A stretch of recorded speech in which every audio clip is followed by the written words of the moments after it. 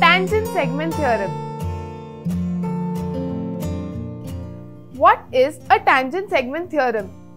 Before we understand it, let us understand the meaning of a tangent segment.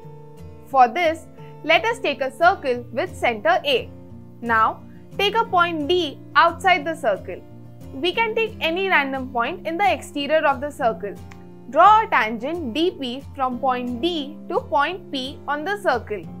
Now, draw another tangent dq from point D to point Q on the circle. Then segments dp and dq are known as the tangent segments.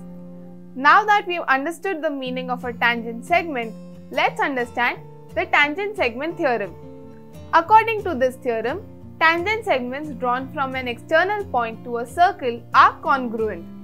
This means that if dp and dq are tangent segments to a circle, then segment dp is congruent to segment dq.